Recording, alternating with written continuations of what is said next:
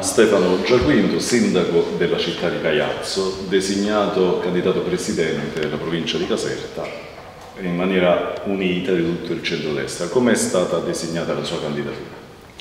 Eh, la mia candidatura è stata designata poiché diciamo, il centrodestro unito si è raccolto nel, eh, nella mia persona perché eh, vivo da un'esperienza un amministrativa comunale già da, da anni, sono al terzo mandato di sindaco e anche con una forte esperienza provinciale. Eh, ricordo che sono stato già assessore provinciale, eletto con eh, il voto dei cittadini e poi eh, sto vivendo questa esperienza da consigliere provinciale votato dai, dai consiglieri comunali.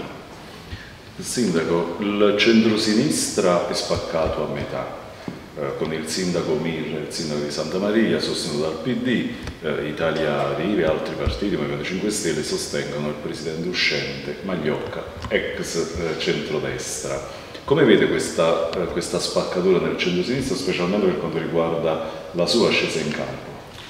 Eh, sinceramente non guardo molto cosa succede in casa altrui, guardo soprattutto a questa mia candidatura del centro-destra unito e soprattutto poi andare a raccogliere quel consenso di amministratori, di uomini e donne che vogliono partecipare attivamente alla vita amministrativa della provincia, perché credo che i sindaci, i consiglieri comunali sono i veri protagonisti di un'amministrazione provinciale, oltre al consiglio che si andrà a formare, ma credo che i sindaci, i consiglieri eh, saranno i primi ad essere ogni volta interpellati dal me Presidente se avrò questo onore di rappresentare la provincia di Caserta. Io ci credo, eh, è una partita che eh, giochiamo, credo, eh, ad armi pari con tutti e quindi anche un in bocca al lupo agli altri, ma io mh, mm, preferisco che sia io ad amministrare prossimamente la provincia di Caserta.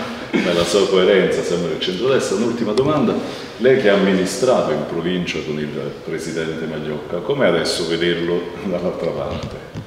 Beh, onestamente fa un po' strano perché eh, diciamo, una persona che è stata sempre di centrodestra, la sua storia politica è, è di tutto rispetto, da, da Alleanza Nazionale a Fratelli d'Italia, poi in Forza Italia, oggi onestamente non credo che sia l'unico eh, ad avere questa, eh, diciamo, questa perplessità nel, in questo suo eh, modo di di approcciarsi poi a partiti diversi da quelli che in questi anni lo hanno sempre sostenuto e gli hanno dato tante opportunità di candidatura anche molto importanti.